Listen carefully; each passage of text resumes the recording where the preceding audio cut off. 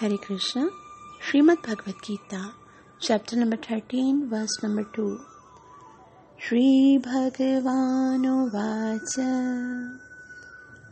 इदं शरीरं कौन्तेय।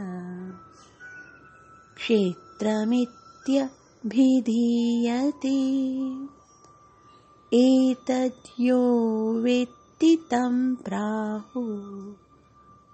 क्षेत्रज्ञ इति तद्विदः।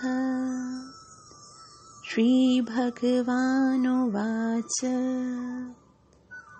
इदं शरीरं कौन्तेय। क्षेत्रमित्यभिधीयते। एतद्यो वेत्ति तं प्राहु। क्षेत्रज्ञ इति तद्विदः। श्रीभगवानुवाच। इदं शरीरं कौन्तेय क्षेत्रमित्यभिधीयते।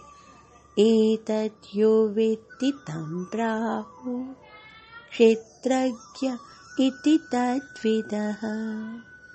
अनुवाद श्री भगवान ने कहा हे कुंती पुत्र यह शरीर क्षेत्र कहलाता है और उस क्षेत्र को जानने वाला क्षेत्रज्ञ है।